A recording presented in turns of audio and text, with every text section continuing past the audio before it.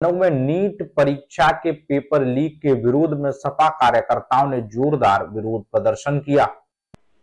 लखनऊ में समाजवादी पार्टी के कार्यकर्ताओं ने जोरदार प्रदर्शन किया। पुलिस ने बैरिकेटिंग कर सपा के कार्यकर्ताओं को रास्ते में रोका। हज़ारों की संख्या में सपा के कार्यकर्ताओं ने नीट पेपर लीक के मामले को लेकर प्रदर्शन किया और गिरफ्तारी कर मांग की गई।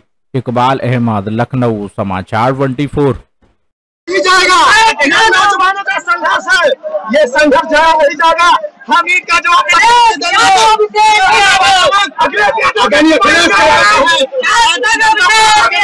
देना चाह रहे हैं भारतीय जनता